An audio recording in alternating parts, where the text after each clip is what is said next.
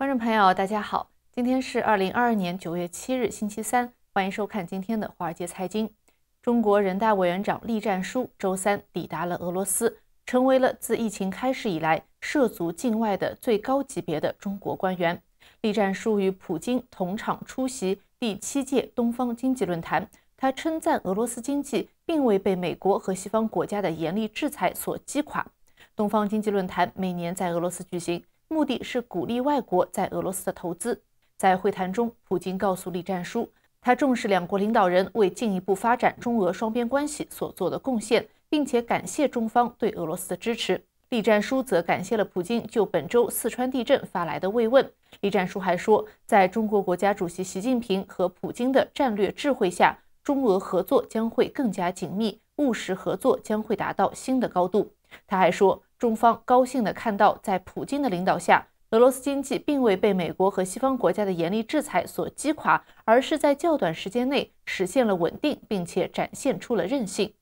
除了俄罗斯之外，栗战书还将在为期十一天的出国行程中前往蒙古、尼泊尔和韩国。政治分析师表示，此次访问将是栗战书结束政治生涯前的一抹亮色。预计栗战书将会在十月的二十大之后卸任领导职务。并且于明年三月卸任人大常委会主席。同时，栗战书的出访也释放了四大信号：首先，中国领导人将会恢复国际旅行；其次，栗战书访俄也明确表达了中国会继续持亲俄中立立场。什么叫亲俄中立呢？也就是中国不会去冒着违反西方制裁的风险来帮助俄罗斯，因为中国不想因为俄罗斯而遭受到经济损失。但是，栗战书所要传达的信息是，北京也绝不会去背弃俄罗斯。如果中国是中立的话，那么它绝对是亲俄中立。第三，栗战书访俄为习近平和普京会面铺好了道路。预计习近平和普京将于九月十五日。在乌兹别克斯坦举行的上海合作组织峰会上会面，这也将是乌克兰战争爆发以来习近平与普京的首次当面交谈。根据乌兹别克斯坦政府网站上的公告，习近平将会前往乌兹别克斯坦出席上海合作组织年会，这是一个欧亚政治和安全论坛。该论坛将于九月十五号至十六号在萨马尔罕举行。最后，中美关系恶化之际，栗战书十一天的外访也是旨在加强与邻国的关系。因此，他此次出访四国的顺序也是有所讲究。首先，他访问的是俄罗斯，俄罗斯是反美立场；紧接着，他将前往蒙古和尼泊尔，这两个国家则较为中立；最后访问的是韩国，则略显亲美。对于蒙古，中国需要与蒙古打通未来俄罗斯天然气输送的管道；尼泊尔在六月则放弃了与华盛顿的安全伙伴关系。中国未来准备与尼泊尔共建穿越喜马拉雅山的铁路。韩国则是最为重要的一站。因为现在韩国夹在中美之间摇摆不定，因此栗战书最需要关注的是他在韩国发表的言论以及届时韩国方面的回应。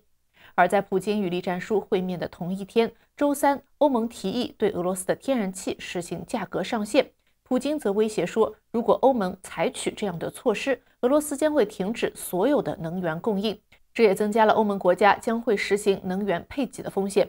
此前，七国集团已经提议限制俄罗斯石油的价格，这令俄罗斯暂停了北溪号管道的天然气供应。不断升级的僵局有可能进一步推高欧洲的天然气价格。普京表示，如果设置价格上限，就是违约，届时能源供应将会被冻结。欧盟能源部长定于本周五召开紧急会议。欧盟委员会主席冯德莱恩说：“我们将提议对俄罗斯天然气设定价格上限。”我们必须削减普京用来资助乌克兰战争的收入。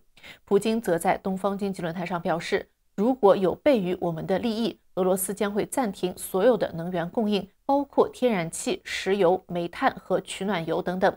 面对如此严重的后果，欧盟成员国内部也存在着严重的分歧。作为欧盟轮值主席国，捷克认为应该取消周五的会议。捷克工业部长表示，这不是一个有建设性的方案。这更像是制裁俄罗斯的另一种方式，而不是实际解决欧洲能源危机的办法。能源价格的飙升正迫使越来越多的欧洲企业减产。一个行业协会周三表示，由于电力危机，欧盟大约一半的铝合金的生产都已经被迫停止。危机可能会造成金属行业生产的永久停止。同时，欧盟政府也不得不花费数十亿美元来保护本国消费者免受账单的冲击。随着对欧洲的出口减少，俄罗斯与中国之间的贸易在八月份却明显提升，这与其他地区的货运量放缓形成鲜明对比。根据中国海关周三公布的最新数据，八月份中国对俄罗斯的出口同比增长了百分之二十六点五，高于七月份百分之二十二点二的增速。而来自俄罗斯的进口也大幅增长了百分之六十，高于七月份的百分之五十。俄罗斯是中国进口石油、天然气、煤炭和农业产品的主要来源地。数据显示，俄罗斯在七月份已经连续三个月成为中国最大的石油供应国。普京在周三的经济论坛上也说，中国对俄罗斯能源的需求正在上升。而本周二，俄罗斯天然气公司刚刚与中石油签署了一项协议，同意以卢布和人民币来支付对中国的天然气供应。而此前，中俄贸易主要是以美元和欧元来计价。周三公布的海关数据同时还显示，除了与俄罗斯之间的贸易外，中国的出口和进口在八月份完全失去了动力，增长明显低于预期。全球通胀飙升，削弱了海外需求；新的防疫措施又影响了中国的产出，使得中国经济重新面临下行风险。周三的官方数据显示，八月份中国整体出口同比增长了百分之七点一，远低于七月份的百分之十八点零的增幅。同时，也远低于分析师增长百分之十二点八的预期。中国令人失望的八月份贸易数据也令全球金融市场感到不安。恒生指数连续五个交易日下跌。国泰君安的首席经济学家表示，中国出口疲软似乎比预期的要来得更早。最近的航运数据表明，随着航运价格大幅下跌，来自美国和欧盟的需求已经放缓。面对令人失望的数据，人民币延续了跌势。对美元的汇率再下跌百分之零点三六至六点九八，进一步逼近了心理关口期。而疲软的人民币也没有为中国的出口提供竞争优势。随着疫情的爆发，多地工厂产出受到影响。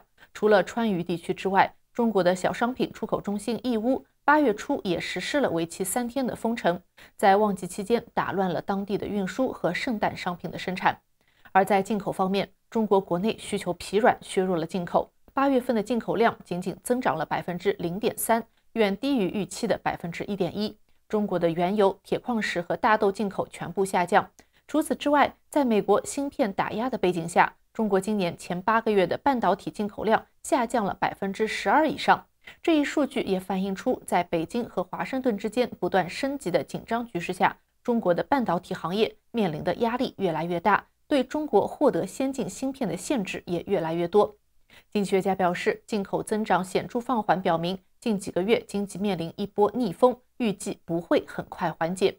本周，北京表示，在第三季度要采取行动是至关重要的，因为数据显示经济的动能已经进一步丧失。央行周一表示，将会减少金融机构必须持有的外汇储备金额，以此减缓人民币近期的跌势。中国的外汇储备已经连续两个月下降，减少至2018年10月以来的最低水平。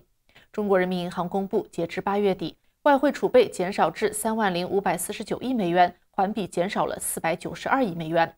中国的贸易顺差是外汇的主要来源，而中国的出口增长放缓是外汇减少的主要原因之一。